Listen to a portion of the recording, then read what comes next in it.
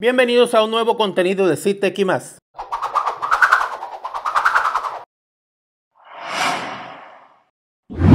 Este nuevo video ha sido creado con la finalidad de advertir a aquellas personas que vayan a adquirir un dispositivo simulador de consolas ya sea el Game Steel Light 4K o cualquier otra versión, debido a que muchas tiendas te venden un dispositivo indicando ser el original pero no es así. Y sí, hasta estos dispositivos chinos se falsifican entre sí, lo que trae como resultado al final a un cliente insatisfecho y con las dudas de por qué no puede agregar juegos a su dispositivo, por qué se queda cargando o por qué de repente simplemente dejó de funcionar. También estos tips te pueden pueden servir de ayuda para otros dispositivos, por lo tanto te aconsejamos que analices cada uno de los puntos que vamos a detallar a continuación. El primer paso es verificar los comentarios de este dispositivo en caso de comprarlo online. Es bastante importante ver los comentarios que dejan los compradores del dispositivo que tienes en la mira, ya que estos sirven de ayuda para los futuros compradores. Si el vendedor es un charlatán y no está vendiendo realmente el producto que indica o si nunca llegó el mismo, entre otras situaciones que se pueden presentar. Otro detalle es verificar el precio de venta de este dispositivo si ves que encuentras una versión con una diferencia mucho menor a la mayoría de vendedores, digamos que hay uno que lo vende 10 o 15 dólares por debajo del precio normal de este dispositivo, debe haber alguna falla, por lo tanto te recomendamos que no te vayas por lo más barato. A veces puede funcionar, pero a veces puede ser una estafa y que te estén vendiendo la versión falsa de lo que realmente estás buscando. Verifique el empaque del dispositivo para confirmar si es distinto. Debemos de ser bastante precavidos en este punto y es que aunque el empaque se vea bastante parecido casi siempre hay un detalle que lo distingue a uno del otro. Ese sello que determina el vendedor que muchas veces es el mismo fabricante del dispositivo. Por lo tanto, esto también te ayudará a saber si estás comprando el dispositivo original. Verifica las capacidades en cuanto a la tarjeta micro SD. Estos dispositivos vienen mayormente en versiones de 32, 64 y 128 GB de almacenamiento y algunas variantes en 256 GB de almacenamiento, pero mayormente viene en las tres que mencionamos anteriormente. Si te indican que la tarjeta micro SD es de 4 o 8 GB y al mismo tiempo soporta 9 consolas o más incluyendo Nintendo 64, Sega Dreamcast, PlayStation 1. Esta información es falsa, ya que estos dispositivos, al menos las versiones más económicas, no poseen almacenamiento interno. Tanto el sistema como la estructura de las ROMs viene en la tarjeta micro SD. Verifica las especificaciones del dispositivo para saber si realmente tiene la capacidad de soportar lo que indica el vendedor. Estos dispositivos debemos de tener en cuenta que no siempre tienen mucha capacidad, sobre todo si no pasan de los 100 dólares. Por lo tanto, no podemos exigir mover videojuegos de GameCube, PlayStation 2, entre otras consolas que requieren mucho más potencia en cuanto a hardware. Si estamos pagando unos 50 o 100 dólares por estos dispositivos, incluso hasta un poco más, tampoco tiene lógica que te digan que sí soportan estas consolas. Pero al final nos encontramos con vendedores que solo quieren vender, por lo tanto están dispuestos a decir lo que sea con el fin de vendernos ese producto. Y para eso detallaremos las especificaciones del dispositivo. El Game Steel Light 4K posee el procesador GB2, el cual actualmente está siendo reemplazado por el RK31 28 en la mayoría de sus dispositivos recientes. Una memoria de 256 MB DDR3 puede emular nueve consolas que son arcade, Nintendo, Game Boy, Game Boy Advance, Game Boy Color, Super Nintendo, Sega Genesis, Omega Drive, PlayStation 1 y Atari. Es imposible que este dispositivo con tan solo 256 MB de memoria RAM y el procesador que no tenemos las especificaciones del mismo, pero dudamos que sea de al menos dos núcleos y si lo es como mucho, por lo tanto no será posible ejecutar en el mismo. Videojuegos como GameCube, PlayStation PlayStation 2 y etcétera. Sí puede que soporte videojuegos de Nintendo 64 no tan fluidos que digamos y otros videojuegos de 8 bits, pero ya eso lo veremos en un nuevo contenido. El siguiente tip es verificar el diseño del dispositivo. Como todos sabemos el Game Steel Light 4K tiene la apariencia de un pendrive o un reproductor de streaming. Es bastante ligero y práctico, pero hay un detalle es que no todos son iguales. Te vamos a mostrar unas imágenes donde se despliegan todas las versiones y la versión correcta o al menos la que yo tengo, que es la que no me ha dado fallas en ningún momento. He podido formatear la tarjeta micro SD, agregar juegos y hasta ahora todo va bien. Ha ya casi un año de tenerlo en mis manos. Por lo tanto, este será uno de los mayores detalles a tener en cuenta al igual que la caja. Y con estos 6 tips finalizamos. Espero que te sirvan de gran ayuda a la hora de adquirir este dispositivo. Y tener en cuenta que no importa lo que digan muchos vendedores, sino la realidad de lo que nos puede brindar este dispositivo. Por lo tanto, debemos ser bastante precavidos para evitar que estos vendedores charlatanes y sin escrúpulos logren estafarnos. ¿Me quieres ver la cara de estúpida?